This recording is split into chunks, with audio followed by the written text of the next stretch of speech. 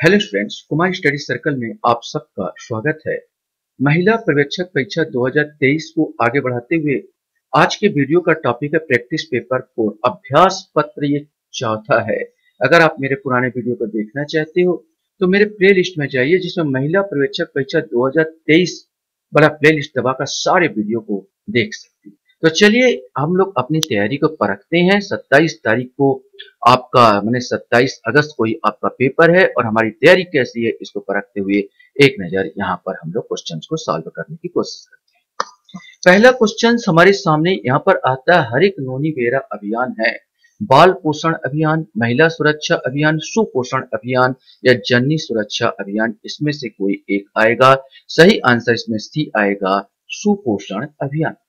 हरिक नोनी बेरा अभियान शुरू किया गया था। अक्टूबर 2018 को, अक्टूबर 2019 को, नवंबर 2019 को या नवंबर 2020 को, इसमें से कोई एक आपको बताना या चुनना है। सही आंसर भी आएगा अक्टूबर 2019 को। ये शुरू किया गया था। क्वेश्चन हमारे सामने यहाँ पर आता है, मुख्यमंत्री सुपोषण अभियान शुरू हुआ। मुख्यमंत्री सुपोषण अभियान आपको शुरू हुआ, महात्मा गांधी के 150वीं जयंती दिन के दिन महात्मा गांधी के 155वीं जयंती के दिन, महात्मा गांधी के 160वीं जयंती के दिन या महात्मा गांधी के 175वीं जयंती के दिन। सोचिए और बोलिए या टिक लगाइए। सही आंसर ए आएगा महात्मा गांधी के 150वीं जयंती जयंती के दिन। ये लॉन्च हुआ था। क्वेश्चन हमारे सामने यहाँ पर आता है। मिशन शक्ति के संबंध में क्या सही नहीं है? यहाँ पर आपको चुनना है, क्या सही नहीं है? यह एकीकृत महिला सशक्तिकरण कार्यक्रम है। इसकी शुरुआत पंद्रहवें वित्त आयोग की अवधि में हुई। इसकी शुरुआत सोलहवें वित्त आयोग की अवधि में हुई। इसमें पूछा गया था, क्या सही नहीं है? केवल एक, केवल दो, केवल एक, दो, केवल तीन। सही आंसर इसमें तीन आएगा, यही सही नहीं है।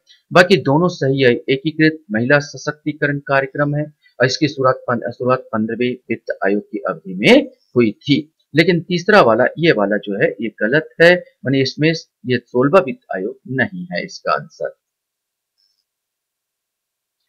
क्वेश्चन हमारे सामने यहाँ पर उठता है, संबल उप योजना संबंधित है। महिलाओं के सशक्तिकरण के लिए, महिलाओं की वित्तीय सहायता के लिए, महिलाओं की शिक्षा के लिए या महिलाओं की सुरक्षा के लिए, ये आपको बताना है। सही आंसर इसका डी आएगा, महिलाओं की सुरक्षा के लिए। मिशन शक्ति के मानदंड कब लागू है? कब से लागू है?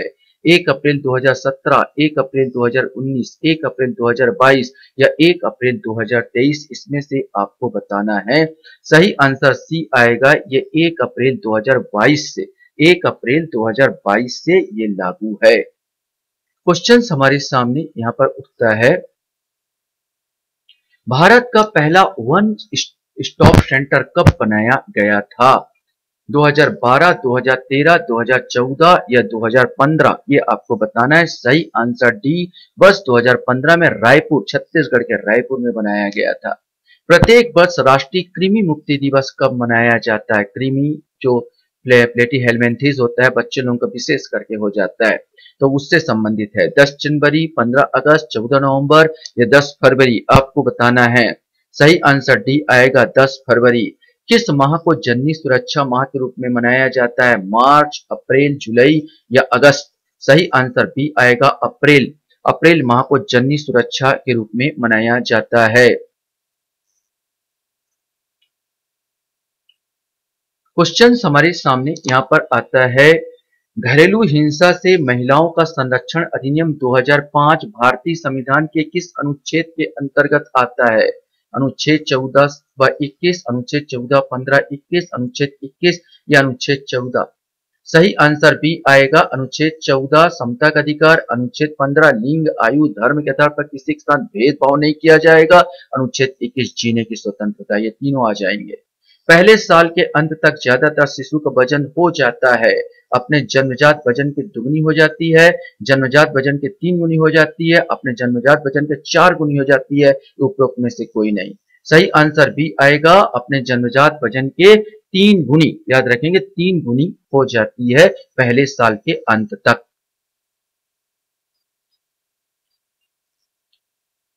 क्वेश्चन हमारे सामने यहाँ पर आता है, ग्रामीण भारत में लगभग 30 परसेंट मातृत्व मृत्यु दर निम्न में से किस कारण होती है?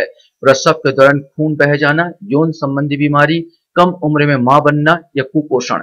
सही आंसर सी आएगा, कम उम्र में माँ बनना।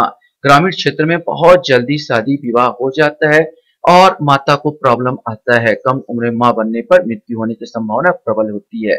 शिशु मृत्यु दर का एक कारण यह भी है कि ग्राम स्तर पर हितग्राही द्वारा निम्न में से किस विटामिन का पूरा नौ डोज प्राप्त नहीं किया जाता?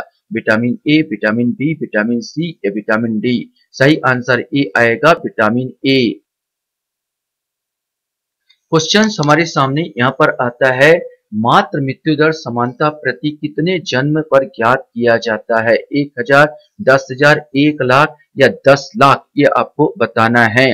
सही आंसर सी आएगा। मात्र मृत्यु दर एक लाख पर प्रति प्रति कितने जन पर? एक जन पर एक लाख पर ज्ञात किया जाता है। क्वेश्चन हमारे सामने आता भारत में प्रसव के कितने दिनों के अंतर्गत होने वाले महिला मृत्यु को मातृत्व मृत्यु दर के अंतर्गत शामिल किया जाता है? एक माह, बयालीस दिन, तीन सप्ताह या पंद्रह सप्ताह? सही आंसर भी आएगा बयालीस दिन। राष्ट्रीय महिला आयोग का गठन किया गया था। 24 तीन 2001, 31 एक 2001, 17 पाँच उन्नीस और 31 एक उन्नीस इसमें आपको बताना है। अगर आप इसको मान रहे हैं 24 तीन 2001 तो याद रखना ये राष्ट्रीय महिला आयोग हाँ। यहाँ पर राष्ट्रीय महिला राज्य हमारे यहाँ पर राज्य 24 मार्च को राज्य महिला आयोग का गठन हुआ था। राष्ट्रीय महिला आयोग का गठन हुआ था, डी वाला आएगा 31 एक उन्नीस सौ बानवे। इसमें ध्यान रखना, अक्सर आप लोग यही गलती करते हो, राष्ट्रीय पुस्तक तो राज्य लगाते हो, राज्य को राष्ट्रीय लगाते हो। तो यहाँ पर कभी कभी एग्ज़ाम में भी थोड़ा सा क्वेश्चन को दो बार पढ़ लिया करो कभी कभी बहुत ज़्यादा सिली मिस्टेक होता है फिर घर आके बोलते हो, यार, ये क्वेश्चन गलत हो गया। तो यही चीज़ें याद रखना कि राष्ट्रीय महिला आयोग पूछा है, न कि राज्य महिला आयोग। तो यहाँ पर 31 एक उन्नीस आएगा। क्वेश्चन हमारे सामने यहाँ पर आता है, मृत्यु दर निम्न में से किस सूत्र से ज्ञात किया जाता है? मृत्यु दर इज़ इक्वल टू वर्ष में हुई कुल मृत्यु संख्या अपान कुल जनसंख्या इंटू हंड्रेड मृत्यु दर इज़ इक्वल टू वर्ष में कुल मृत्यु संख्या अपान कुल जनसंख्या इंटू एक हज़ार। मृत्यु दर इज़ इक्वल टू वर्ष में हुई कुल जन, जन्म मृत्यु की संख्या का अंतर अपान कुल जनसंख्या इंटू एक हज़ार। इनमें से कोई नहीं। बी आंसर आएगा मृत्यु दर बराबर वर्ष की हुई वर्ष में हुई कुल मृत्यु की संख्या अपान कुल जनसंख्या इंटू एक हज़ार। राष्ट्रीय जननी सुरक्षा दिवस कब मनाया जाता है? देखो, जननी सुरक्षा अप्रैल, अब कब डेट पूछा है भाई? कब मनाया जाता अप्रैल तो मन जाएगा ये 12 अप्रैल। अगर अप्रैल भी याद हो, आप पूरा अप्रैल दिया होता तो कंफ्यूजन हो जाता है यहाँ पर। यहाँ पर केवल 12 अप्रैल दिया है तो अप्रैल माह में जननी सुरक्षा दिवस मनाया जाता तो आंसर आ जाएगा 12 अप्रैल। लेकिन सब जगह अप्रैल अप्रैल दिया होता तो प्रॉब्लम क्रिएट हो सकता था। तो यहाँ पर 18 का क्वेश्चन यहाँ पर आपका ए आएगा 12 अप्रैल।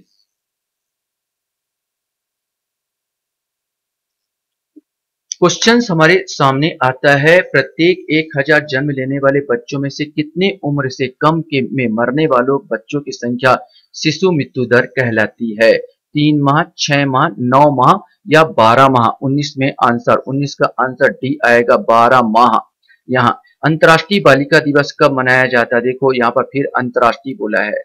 न कि राष्ट्रीय, अंतर्राष्ट्रीय बालिका दिवस कब मनाया जाता है? 11 अक्टूबर 24 जनवरी 10 दिसंबर या 22 अक्टूबर, इसमें से आपको बताना है। सही आंसर ए आएगा।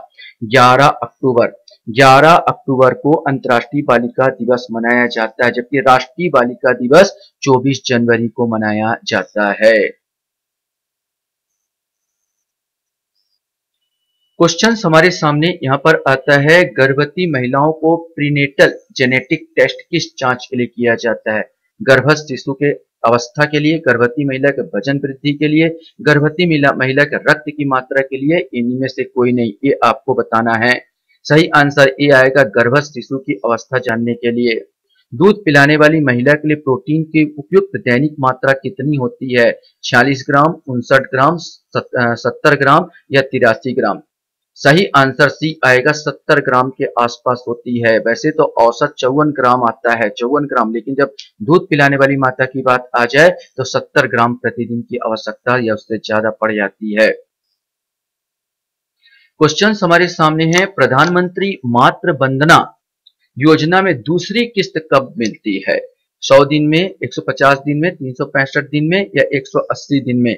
सही आंसर डी आएगा 180 दिन में दूसरी किस्त आपको प्राप्त होगी। क्वेश्चन हमारे सामने आता है, सामान्य रूप से 9 महीने की गर्भस्था में गर्भवती महिला का वज़न कितना किलो बढ़ना चाहिए? चार से पाँच किलो, छह से सात किलो, आठ से दस किलो या बारह से पंद्रह किलो? लगभग आठ, दस दस, ग्यारह इसके आसपास होता है मतलब ये आला आएगा आपका। काली खांसी विशेष रूप से कितने वर्ष से कम आयु वाले शिशुओं के लिए खतरनाक होती है? एक वर्ष दो वर्ष तीन वर्ष या चार वर्ष इसमें से आपका आएगा आंसर सही आंसर ए आएगा एक वर्ष।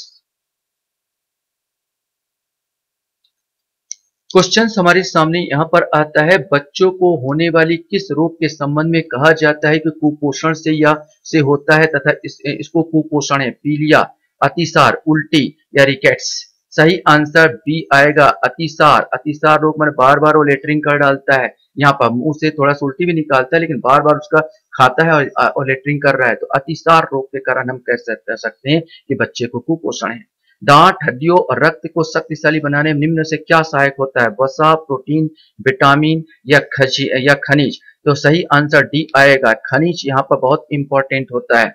यहाँ पर कैल्शियम सबसे इंपॉर्टेंट इसमें होता है कैल्शियम कैल्शियम के कमी के कारण जो हालाँकि हालाँकि विटामिन डी की भी इंपॉर्टेंट होता है लेकिन दांत हड्डियाँ और रक्त को, को शक्तिशाली बनाने के लिए अब विटामिन रक्त को शक्तिशाली ये सब तीनों बनाने के लिए खनिज पदार्थ कैल्शियम की विशेष आवश्यकता हो जाती है।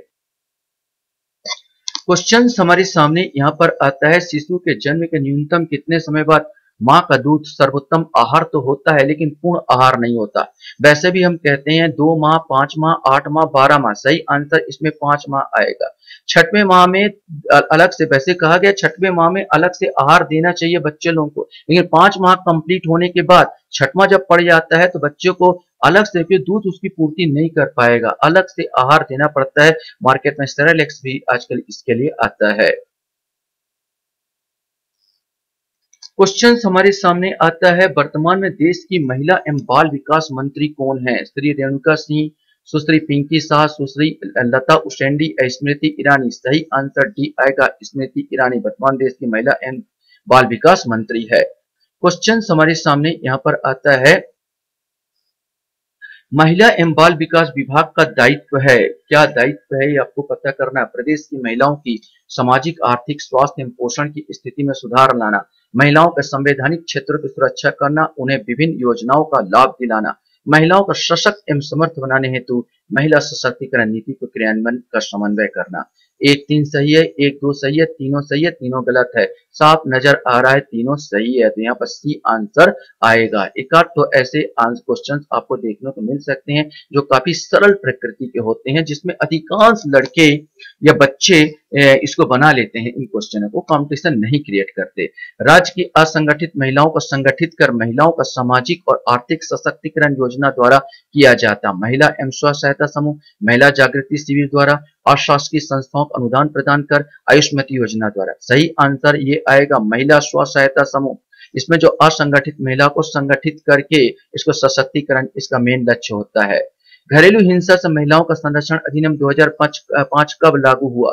26 अक्टूबर 2006 26 जनवरी 2005 13 सितंबर 2005 या 17 अक्टूबर 2006 इसमें से आपको कोई एक चुनना है। सही आंसर आएगा ए 26 अक्टूबर 2006 को लागू हुआ, जबकि अधिनियमित हुआ था 13 सितंबर 2005 को। 13 सितंबर 2005 को ये अधिनियमित हुआ था, बना था और लागू हुआ 26 अक्टूबर 2006 सब दुगुना है 13 दूनी 26 सितंबर के बाद अक्टूबर 5 के बाद 6 ऐसे करके याद रखना। क्वेश्चन हमारे सामने, यहाँ पर उठता है, वर्तमान में छत्तीसगढ़ के महिला एवं बाल विकास मंत्री कौन है? श्रीमती अनिला भेड़िया या डॉक्टर किरणमयी नायक श्रीमती रीना बाबा साहब कांगले, श्रीमती क्रिस्टीना एसलाल इसमें से आपको आएगा। सही आंसर ए आएगा। श्रीमती अनिला भेड़िया, वर्तमान राष्ट्रीय महिला आयोग का अध्यक्ष कौन है? श्रीमती अनिला भेड़िया, ये तो हो ही नहीं सकती क्योंकि ये तो छत्तीसगढ़ महिला बाल विकास मंत्री है यहाँ पर। तो डॉक्टर किरण मई नायक श्रीमती रीना बाबा साहब कांगले श्रीमती कृष्णा एस लाल। ये मई नायक यहाँ पर क्या है? महिला आयोग की अध्यक्ष है। नोनी सुरक्षा योजना के तहत वित्तीय सहायता राशि कितनी है? पचास हज़ार, पचहत्तर हज़ार, एक लाख या दो लाख? इसमें से आपको बताना है। सही आंसर सी आएगा, एक लाख है।